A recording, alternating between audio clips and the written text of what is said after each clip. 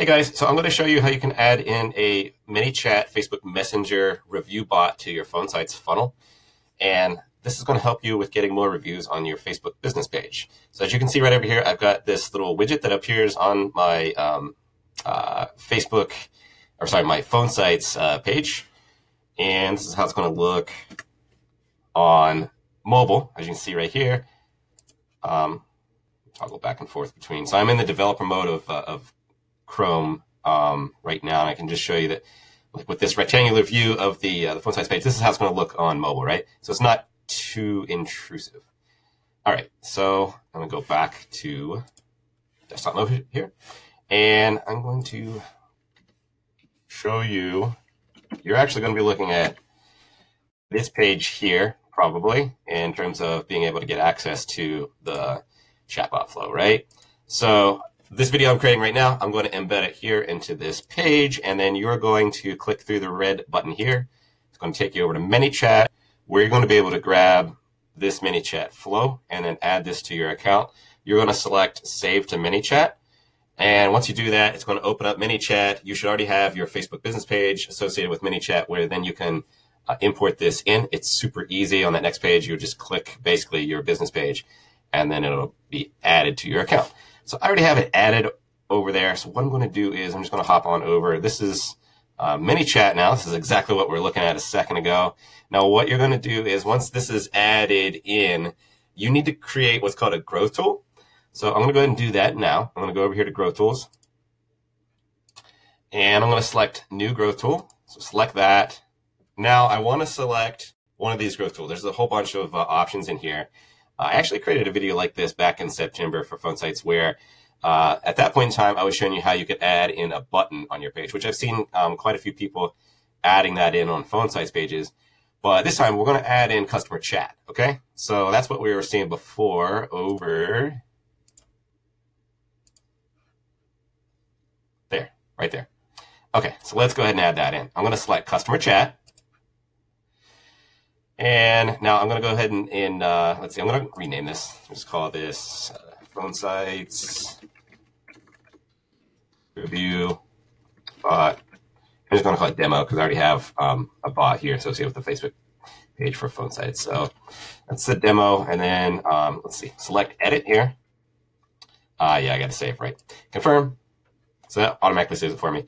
So this is going to be the opt-in message when someone goes through and selects the little widget that's on the phone sites page, they're going to see this right here, the starting step, and you can adjust the, the language and so forth if you want to. Now you need to connect this over though to the actual flow that I just shared with you from clicking through, oops, oops, oops, from clicking through this red button when I showed you that flow that you imported into your uh, ManyChat account, we need to connect that now to the starting step. Otherwise, if you don't make that connection, someone is just going to land here in the starting step and then they're going to get stuck. So let's go ahead and do that. I'm going to click here. And once I clicked in there, you can see that there was this left uh, pane here that opened up. So now I need to, this is where I can actually edit it. I could click in here and I could edit uh, the, the, the language and so forth if I wanted to. So I'm just going to type in some random text just to show you. See, uh, if I wanted to, um, I could put in uh, some different variables in here, right? So I could uh, personalize this a little bit if I needed to, and that's what you see up here for first name. Um, it's that variable right there. But I'm not going to change that. What I want to do now is I want to connect this to my flow. So how I can do that is I'm going to select continue to another step. And then I'm going to select choose next step. So then when I click on choose next step, it brings up this little window over here off to the side. I'm going to select start another flow. So I'll select that. Now I'm going to click into click to select a flow. And I know there's a bunch of clicking around. It's not uh, as direct as it should be, I guess. So now I have to go back over here and click again, click to select a flow. So I'm going to do that. And then now this window appears, and this is where I have all the flows that are associated with this page, right? So now I can select, uh, let's see, this is going to look a little different for you. You won't have all these options in here. You're going to have different options, of course. Um, most likely on your side, you're going to have up here at the top, you're going to have like a, a couple, maybe like one folder, and one of them is going to be like PS users copy review bot import or something like that. Um, I'm going to go ahead and select PS users, and that just that's phone sites users, of course. Go ahead and select that, and I'm going to select that again. And so now that when once I get onto the screen here where um, the option is uh, highlighted in green and we see kind of like a little preview here, now I know that I'm actually at the, the lowest level where I can actually make that connection, right? Um, okay, so let's go ahead and select this flow. And so now you can see that it's connected. Uh, I know it doesn't look terribly impressive right now. You see, wow, you've got two cards going on here, but this is the opt-in message, and this is the, the next flow. This is the, the entire flow of the review bot. So if you wanted to see how that looks, we could just select open this flow. And then now you can see what I was showing you before in terms of the, uh, the different pathways and so forth for the review bot. Okay. So let me just, uh, I'm going to zoom in really quickly so you can kind of get a better sense of what this looks like. So someone's going to opt in on that first card, and then they're going to land over here on this starting step of the flow, where they're going to be asked, you know, how would you rate the overall service and so forth, and then they're going to give a, a five, four, three, two, or one star, hopefully a five star, right? Okay, and then after they've given uh, their response, they're going to move on to the next step. So each star review goes on to the next step. Uh, there's different languages used for each of the different uh, review steps. Of course, you can go in there and tweak that around if you want. So there's the one star review card, two star, three star, four star, five star review card, and so forth. And then you know I've got some different emojis going on in here to uh, you know show gratitude for the the five stars and the four stars that they're given. And then um, the next step after they've given their review is they're going to go over here to this card right here, where we're just going to say, you know, we really appreciate you giving your feedback, blah blah blah blah. And then here's the most important part, right? We want them to go to feed to, to Facebook to give a review. So they're prompted to do that. They're going to click on a button and that's going to take them over to Facebook page where they can give a review.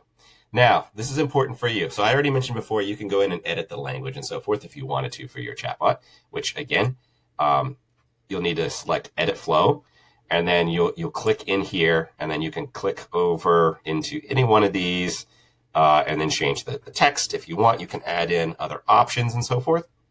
Uh, I'm not going to do that. Uh, but what I wanted to show you though is you'll need to edit the URL that's associated with this button. You want this to be tied to your business page. So if I select that, you can see that right now I just have it going to facebook.com.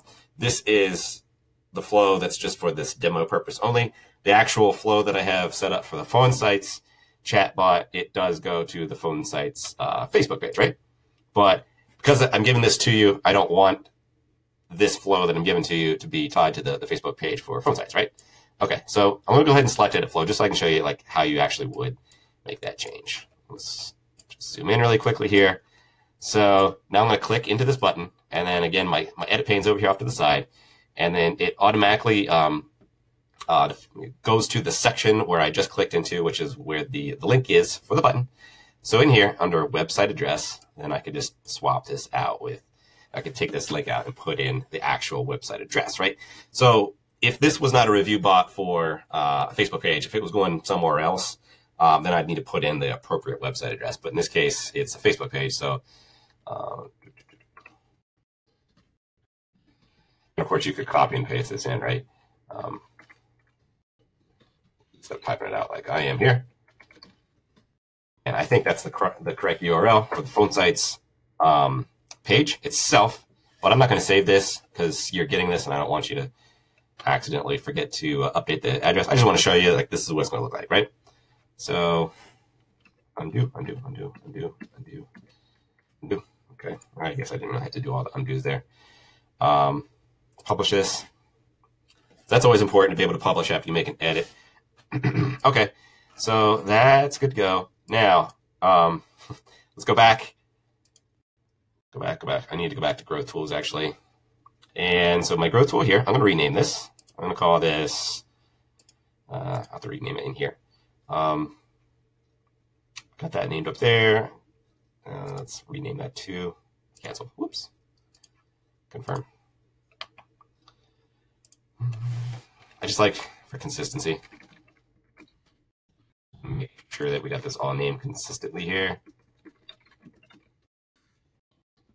Instead of using the uh, the default that ManyChat is. Okay. I gotta publish this too because I'd made the edit here, but I didn't save it before. Um, that's why if I go back a level here, you can see that there's this little yellow dot under edit flow. That just means that you've made a change, but you haven't actually published it yet. So I'm going to go ahead and select edit flow and then publish this.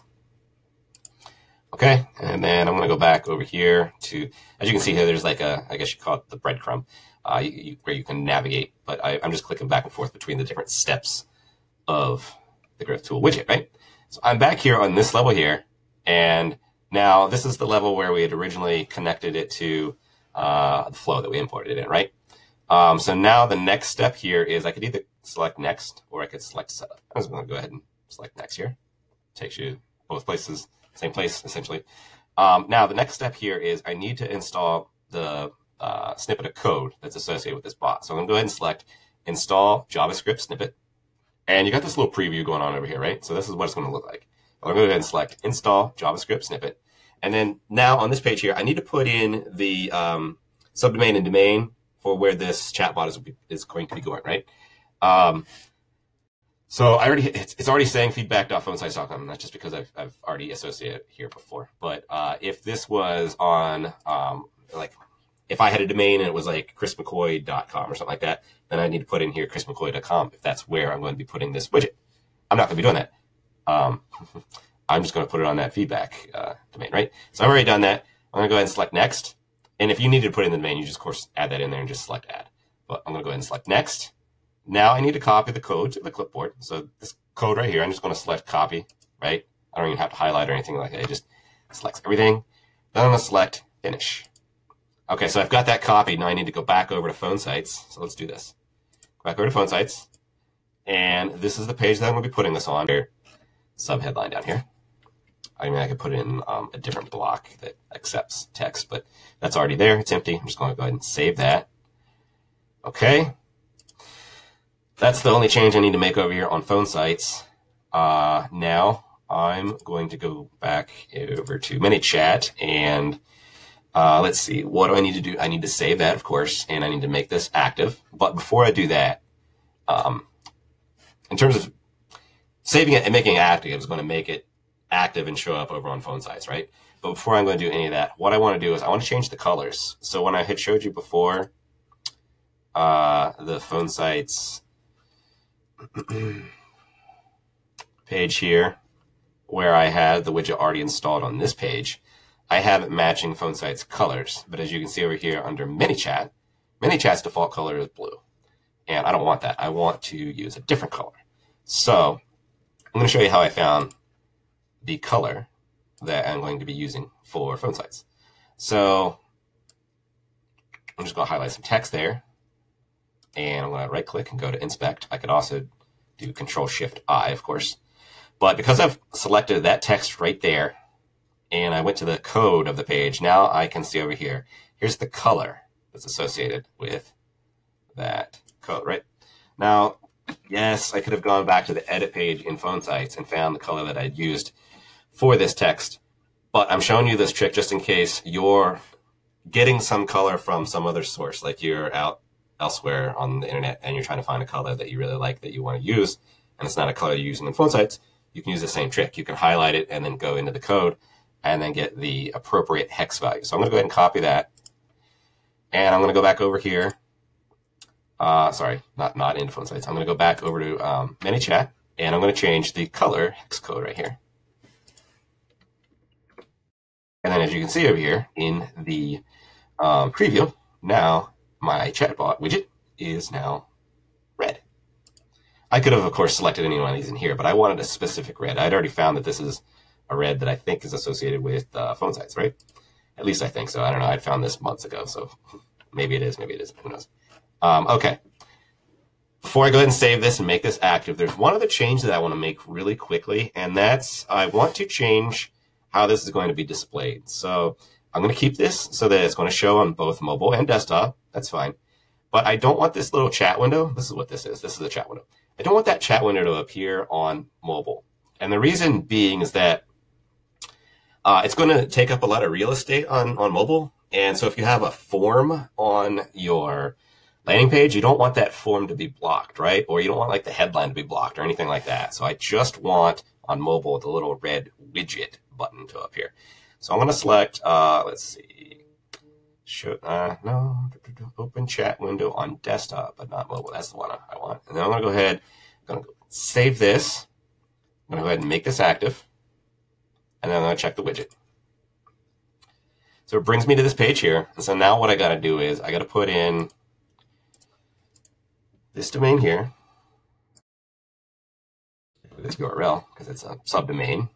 Okay, and so now that I have the widget check completed, now um, pretty much done in terms of setting up that bot demo. Uh, now I'm going to hop back on over to my phone sites page and refresh, and then we can see that we got the widget installed.